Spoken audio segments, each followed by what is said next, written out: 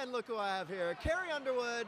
I'm really excited right now. I'm getting so nervous for the show, but I'm really excited that you're Oh, sitting next no to us. No need to be nervous. Oh no! now, Blown Away happens to be my favorite album of Thank yours. you. Uh, you're no stranger to the AMAs. What do you think about this year? What's your What's your favorite music this year? Um, I mean, I've, I've been living in kind of a tour bubble for the past, goodness gracious, um, I guess six months is how we were starting to plan everything. So people ask me, like, what do you love on the radio? I'm like, I don't even know what's going on in the universe right now because we've been living, eating, sleeping, breathing tour.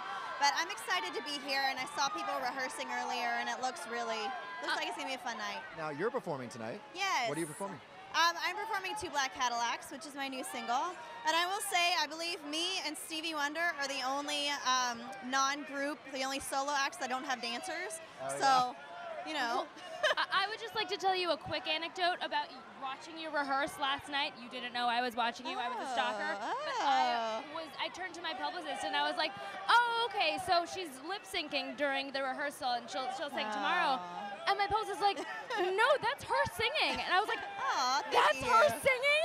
Thank you were you very much. amazing. And that's a major you. compliment because Yeah. sometimes these days there's some artists get away with lip syncing. but Yes. I'm glad to see I'm that not, you I'm don't not do one of that.